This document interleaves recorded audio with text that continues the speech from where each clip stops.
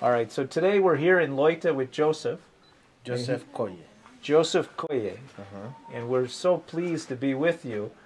Tell us about how this community has benefited from your work and Jess's work, work with Fix. Um, I was born in Hills, and Loita Hill is this beautiful landscape that you can see. And I was born like 500 meters from here. We have six, four boys and two girls, and I was the only lucky one who went to school. And when I Why were to- you so lucky?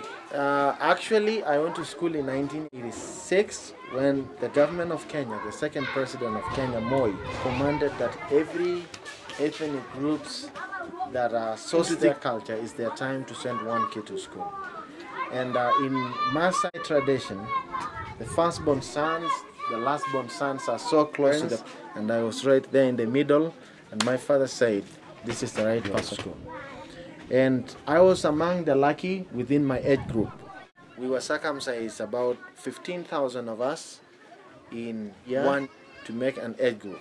And when we made the age group, all of about 2,000 population around Ilmochok area where I was born, I was the only lucky person in my age group who was able to go to high school.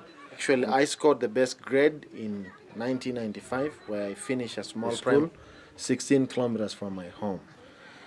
And uh, when I finished my high school, I I decided to go and look for a job in the Masai Mara, and uh, it have been my daily wish that one day community can be enlightened, get a school, and send kids to school like the wonderful kids that we have around our school today. We met with Jess in a beautiful called Masai Mara, Olonana camp, and she didn't come for a safari that time. She was coming to look for a kid Justine, who had a heart problem, that she, she met him in Kenyatta Hospital. Lucky enough, uh, at our boarding the camp, I was allocated her. So difficult for us to get this little boy in the middle of the most populated uh, county called Kisii. It looks like you see all this little grass you see in Loita.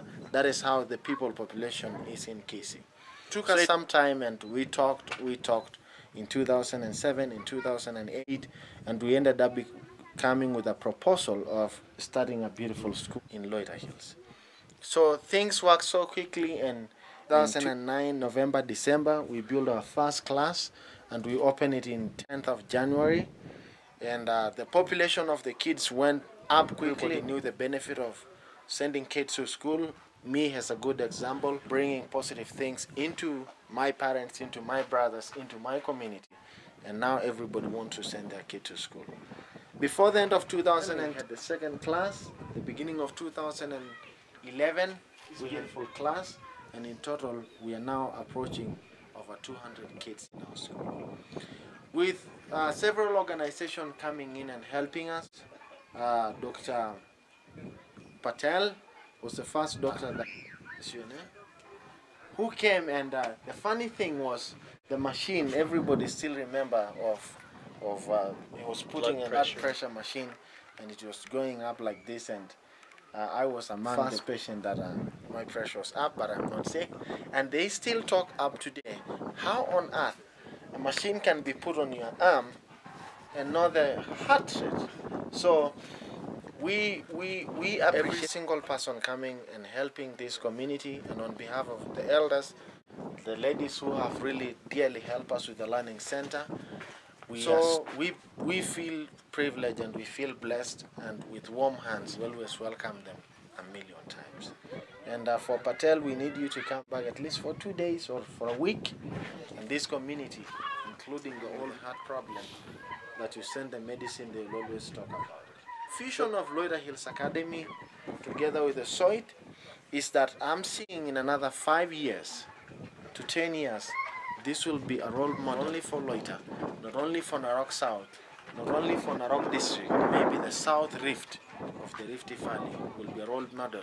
And we have seen this from the recommendation from the Ministry of Education, the Ministry of Health, and the Ministry of Water is also coming in because we are hoping to get a borehole. And uh, immediately we get a borehole, everything will change. We'll have maybe a nice, better clinic, even a surgeon or a, a maternity, or even a boarding school And that is the next step that we are looking forward for this community to get a borehole nearby.